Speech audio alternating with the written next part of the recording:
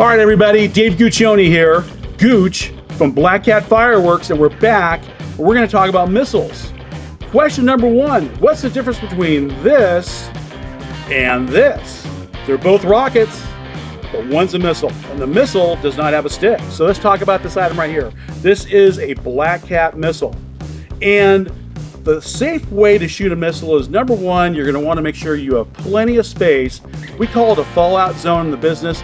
For you, you're going to want to need you're to need around 100 feet.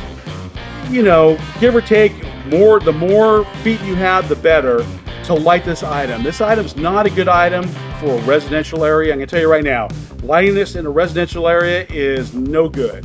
You want to be in a field, you want to be in an open space because this is going to come back down to earth.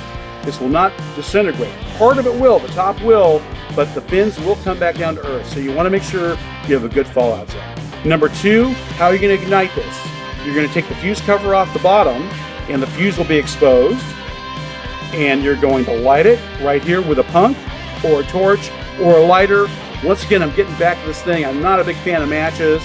I really prefer a punk as number one, a torch or a lighter as number two. So once again, the missile is going to stand, it's a standalone item, and it's going to go straight up, hopefully. Another thing to worry about with missiles, be concerned about, I think more is the better way to put it, is make sure there's not a lot of wind. If there is a lot of wind, and that goes with any sort of rocket or fireworks in general, do not shoot fireworks in high wind. And I consider high wind anything over 10 miles per hour. So you really want to have more of a still evening and really be able to enjoy the show that way. When in doubt, no is the answer. Okay, that's always the answer with fireworks. When in doubt, no is the answer. So once again, this is a missile.